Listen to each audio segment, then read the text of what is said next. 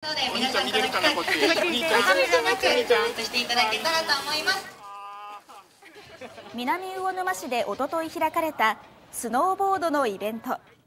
北京オリンピックの時はあの恐怖心と戦いながらだったんですけどコーチだったりにすごいたくさん支えてもらってこの結果があの出すことができました。北京オリンピック女子ハーフパイプで見事銅メダルを獲得した妙高市出身富田せな選手のほか同じく日本代表の平野流佳選手戸塚優斗選手がファンサービスに応じていました。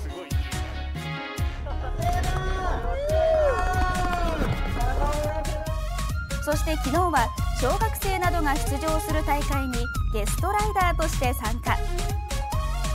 世界の滑りを披露し会場を盛り上げました。私も小学生の時この大会イベント出てたのでなんか懐かしいなっていう気持ちになりながら一緒に頑張っていけたらいいなというふうに思ってます。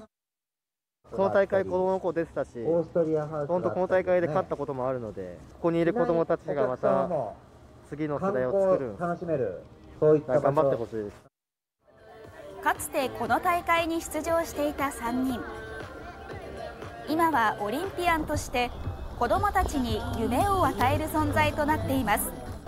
れがルカ君でこれがセナちゃんでこれがユウト君で。すごいなテレビで見た時より、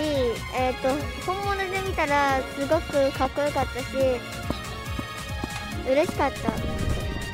えー、オリンピック引き続きスノーボードの魅力はたくさんの人に伝えていきたいので影響を与えられるような人になれたらいいなというふうに思ってます。メダリストの凱旋で高まるスノーボード熱。新潟から新たなオリンピック選手の誕生に期待です。